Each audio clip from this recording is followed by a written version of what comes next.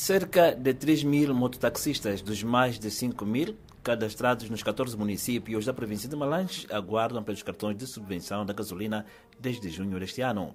O delegado provincial da Motrang, Etcaculo, admite que mais de 2.400 filiados beneficiam dos subsídios até o momento.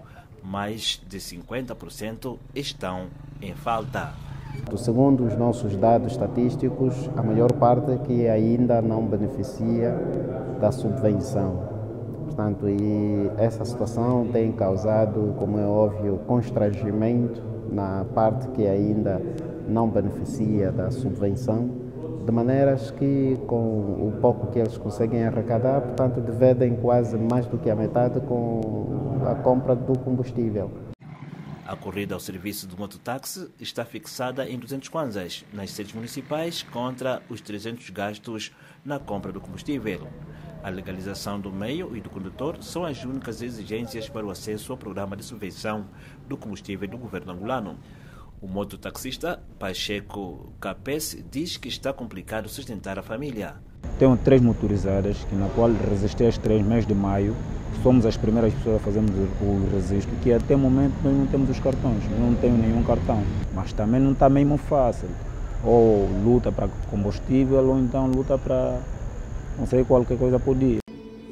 Isabel Cuteda é a única mulher mototaxista em Malange. Ela destaca outros desafios. Não temos também estradas assim que ajudem muito, então danifica os meios.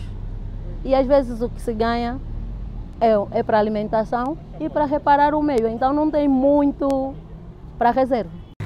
O diretor do Gabinete Provincial dos Transportes, Tráfego e Mobilidade Urbana, João de Assunção, garante que o problema será normalizado nos próximos meses com a recepção de 557 cartões que faltavam da primeira fase.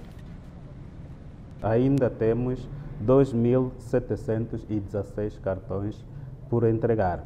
Do ponto de vista percentual de cartões entregues até o momento, estamos a falar de 54% dos cartões entregues até ao momento. Não por licenciamento no período da campanha criou constrangimentos muito grandes no processo de emissão de cartões, porque a prioridade foi na primeira fase os contemplados da primeira fase, com cartões por receber, serão indemnizados. Se já tinha feito o, o seu licenciamento, mas não recebido o cartão, poderia receber reembolso. Estamos a registrar, sim, essa prática está a acontecer. Isaías Malas para a Voz da América.